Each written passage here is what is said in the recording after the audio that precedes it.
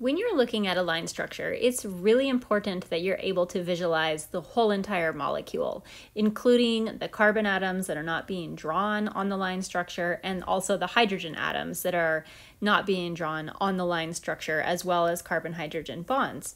So what we're going to do in this video is practice looking at line structure structures and interpreting them understanding how many atoms are present and where those atoms are present, essentially converting them to Lewis structures. So as before we get into this, as we're getting into this, we've got to keep a couple of things in mind. Number 1, when we're looking at a line structure, we are not seeing any of the hydrogen atoms that are bonded to the carbon atoms. So all of the hydrogens that are on or bonded to carbon atoms are missing from this structure and we are going to have to fill them in. Also, we need to keep in mind that all carbon atoms in the molecule are there, but they are not drawn. So we don't have that C symbol to indicate that the carbons are there. So bonds that look like they are not um, connected to any particular atom are connecting carbon atoms. So let's let's start with this molecule right here. This molecule doesn't have any atomic symbols in it at all, which means that it contains just carbons and hydrogens. And so we can see that this molecule has a total of one, two, three, four bonds at least. And all of those bonds that we're looking at, because we don't see an atomic symbol associated with any of those bonds, we know that all of those bonds are between carbon atoms. So what we can do for starters, I'm actually going to just try, I'm going to try to copy this.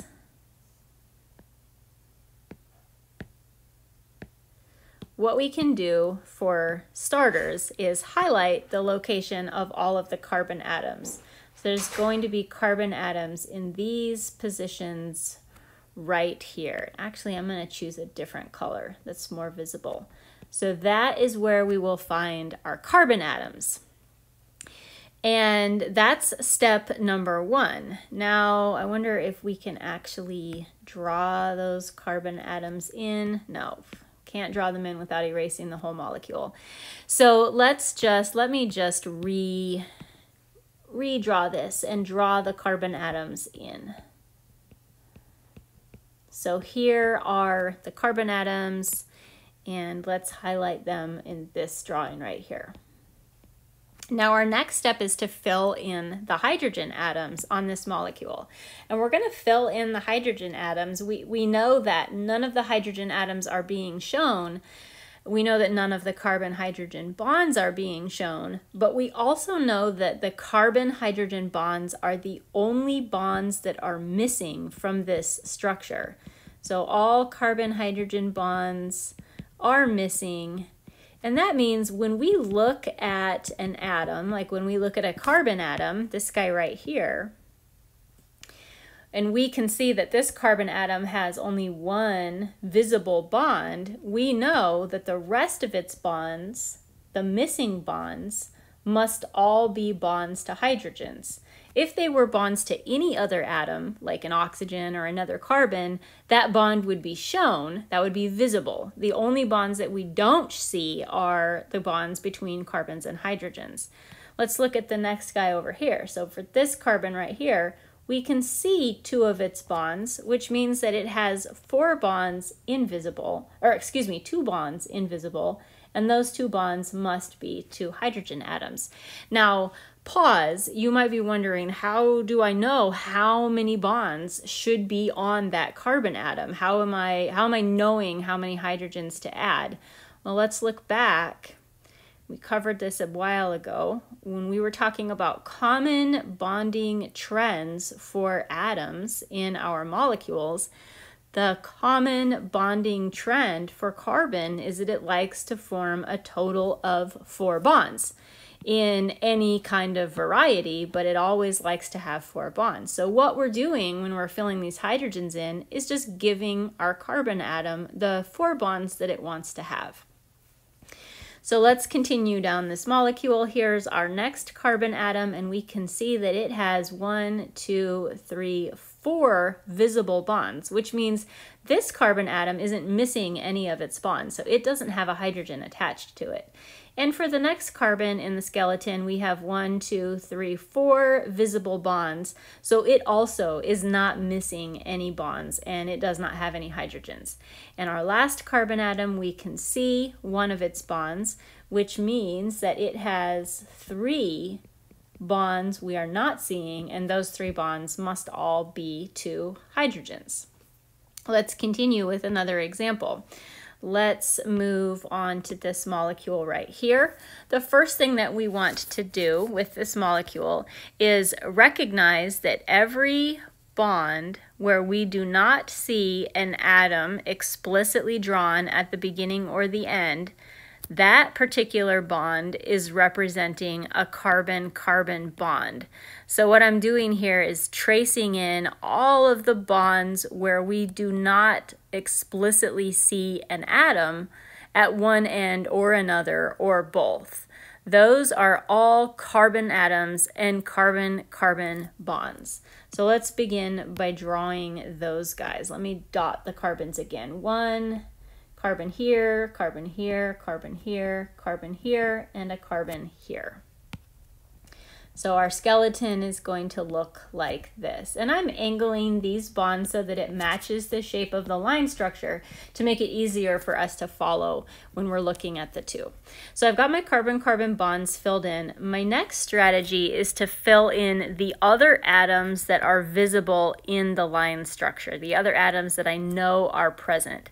So I know that I have a carbon-bromine bond right here and I'm gonna draw that guy. Now here's some something that um, some students get mixed up on. When they look at the line structure, this particular line structure right here, they want to see a carbon atom located at the end of this line. So they want to squeeze another carbon in. Don't do that. This is a bond between a carbon and a bromine. Remember, the only bonds that we don't see are bonds between carbons and hydrogens. Bonds between carbons and bromines, we definitely see those. So let's also draw this bond right here. This is a carbon to oxygen double bond. And um, I should probably draw the lone pairs on these atoms since you're still new to organic chemistry. It might make you feel nervous to not see the lone pairs. We're going to start leaving them off. And now what we need to do, since we have all of our carbons and we have the bromine and the oxygen, our last job is to fill in the hydrogens. And we're going to do that by remembering every carbon atom wants to have a total of four bonds. So we'll look at a carbon atom, we'll see how many bonds are visible to us. In this case, we can only see one. And that means that that carbon needs three more bonds.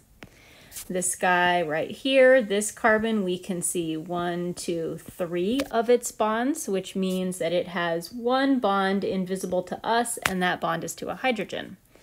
Next carbon over, we can see one, two bonds, which means we cannot see two bonds. They must be to hydrogens. And the next carbon over is the same. We can see two of its bonds, so it must have two bonds to hydrogen. This carbon, we can see one, two, three, four bonds, so it does not have any hydrogens. And our last carbon, we can only see one bond, so that is a carbon with three hydrogens. So hopefully this is starting to feel a little bit easier. Let's move on to this example right here. What do we have? Um, let's just start by identifying our carbon atoms. There they are, like that. Remember, there is no carbon atom right here. This is a carbon-oxygen bond. We would not hide a carbon atom in this location. So there are the carbon atoms in this molecule. Let's draw them and draw our bond to the oxygen as well. And this is this particular molecule is like a combination of line structure and condensed structure because I have that OH that's condensed together. So we can go ahead and expand that OH bond out if we'd like. And now we are going to fill in the hydrogens on our carbons as needed so that every carbon has a total of four bonds. First carbon has one, two, three, four bonds. Carbon number two has one, two, three, four bonds. Carbon number three has one, two, three, four Perfect. And now we are ready for our last example. So let's start by finding our carbon atoms. Here they are. And then let's go ahead and sketch those carbon atoms together.